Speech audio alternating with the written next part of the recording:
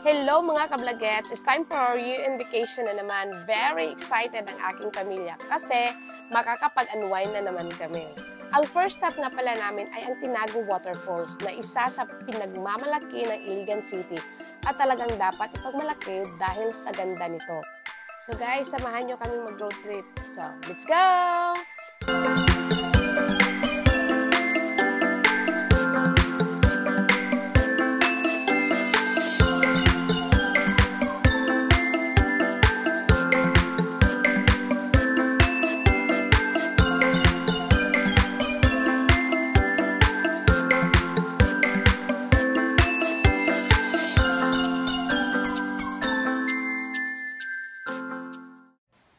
Hello guys, andito na kami sa Tinago. So, start na tayong maglakad. Hindi ko na-videohan ang entrance pero sige lang, proceed na tayo.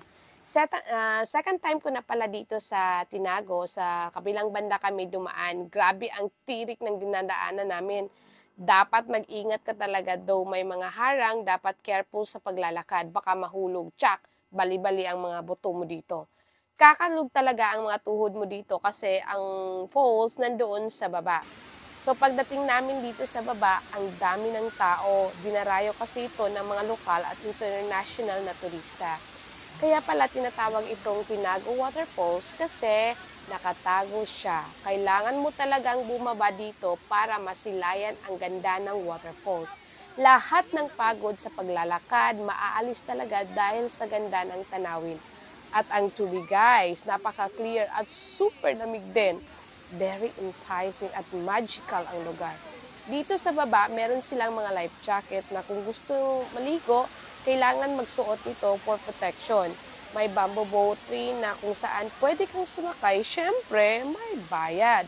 Ito ang sinasakyan para makalapit ka talaga sa waterfalls. Ang ganda experience kaya nun, pero ako, naka, hindi ako nakapag-try kasi natatakot ako. Pero yung iba, grabe, ang tatapang! By the way guys, mura lang ang entrance nila dito pero ang mga tables medyo mahal pero kaya lang sa bulsa.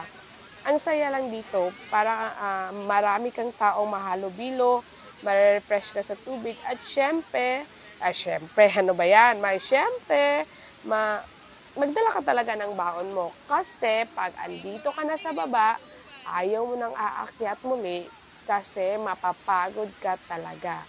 May mga lifeguard na para parating nakatuon ang attention, ano ba to? Parating nakatuon ang atensyon sa mga naliligo. If mag-violate ka, siguradong tutunugan ka ng alarm. So guys, enjoy the moment. Swim muna tayo.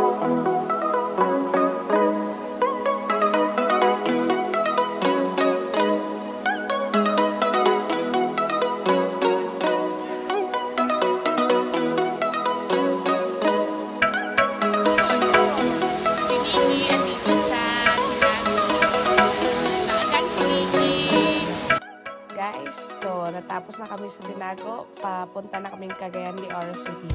So, see you guys sa aming second stop na. Bye-bye! Thank you for watching!